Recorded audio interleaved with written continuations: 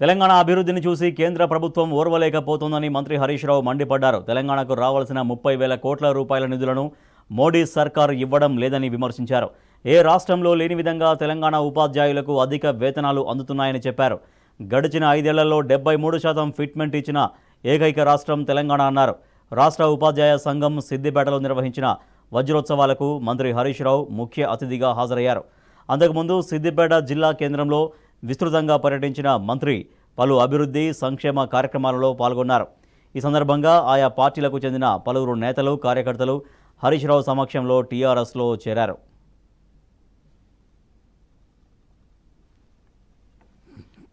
ఐదు సంవత్సరాల్లోనే డెబ్బై మూడు శాతం ఫిట్మెంట్ ఇచ్చిన ఒకే ఒక్క ప్రభుత్వం భారతదేశంలో తెలంగాణ ప్రభుత్వం.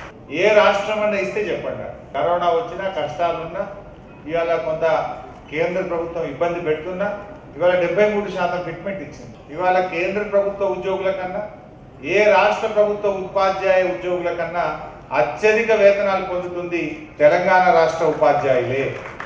ఈ దేశంలో ఏ రాష్ట్రంలో కూడా ఇలాంటి వేతనాలు లేవు. ఇవాళ రిటైర్డ్ ఉపాధ్యాయుల పట్ల కూడా ప్రభుత్వం ఎంత పాజిటివ్గా సానుకూలంగా ముఖ్యమంత్రి గారు స్పందించిందో కూడా దయచేసి మీరు ఆలోచించారు ఇవాళ జిల్లా ఏర్పడ్డది ఇక్కడే డియు వచ్చిండ్రు. ఇవాళ ఇక్కడనే ఎస్టీయు జిల్లా సమావేశాలు జరుపుకునేటువంటి అవకాశం మీకు దక్కింది. ఇవన్నీ కూడా ఇవాళ జరిగినాయి అంటే ఒక ముఖ్యమంత్రి గారు ఒక పట్టుదలతో పనిచేయడం వల్ల సాధ్యం జరిగింది. కానీ మూడు సంవత్సరాల్లోనే పల్లె పల్లెలో మారుమూల ఆదిలాబాద్ గోండుగూడెం నుంచి ఖమ్మం జిల్లా కోయగూడెం వరకు ఆలంపూర్ వరకు ఎక్కడ పోయినా ప్రతి ఇంటికి కూడా నల్లా పెట్టి స్వచ్ఛమైన నీళ్ళు ఇచ్చి శాశ్వతంగా మంచినీటి సమస్య పరిష్కారం చేసింది ఇవాళ తెలంగాణ ప్రభుత్వం. రాష్ట్రంలో ముప్పై మూడు జిల్లాల్లో మొదటి స్థానంలో సిద్దిపేట జిల్లా నిలిపిన మా జిల్లా ఉపాధ్యాయుని ఉపాధ్యాయులకు నా హృదయపూర్వకమైన శుభాకాంక్షలు అభినందనలు.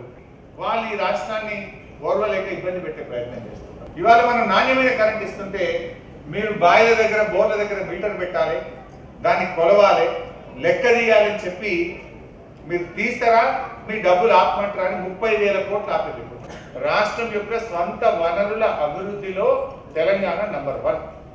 అని వాళ్ళే చెప్తారు. ఇప్పుడు మన ఊరు మన బడిని కూడా చాలా స్పీడ్గా టేకప్ చేస్తున్నాం. పూర్తి స్థాయిలో దీనికి మాత్రం నిధులలో ఎట్లాంటి ఆటంకం కలగొద్దని చెప్పి దీనికి డబ్బులు కూడా కేటాయించినాం. ఫుల్ స్పీడ్ పాఠశాలల్లో మంచి మౌలిక సౌకర్యాలు అద్భుతమైన మౌలిక సౌకర్యాలు. అందరికీ డిజిటల్ క్లాస్ రూమ్లు డ్యూయల్ డెస్కులు డైనింగ్ హాల్లు రన్నింగ్ వాటరు మంచి వాష్రూమ్స్ టాయిలెట్స్ ప్లేగ్రౌండ్స్ అవసరమైనన్ని తరగతి గదులు కాంపౌండ్ వాలు కిచెన్ షెడ్ అన్ని సౌకర్యాలతో మంచి పాఠశాల నిర్మాణ ప్రక్రియ ఇంకా వేగవంతం చేస్తాం. ఆ ఫలితాలు కూడా మీరు ఒక ఆరు నెలలు ఏడాది లోపల చూస్తారు.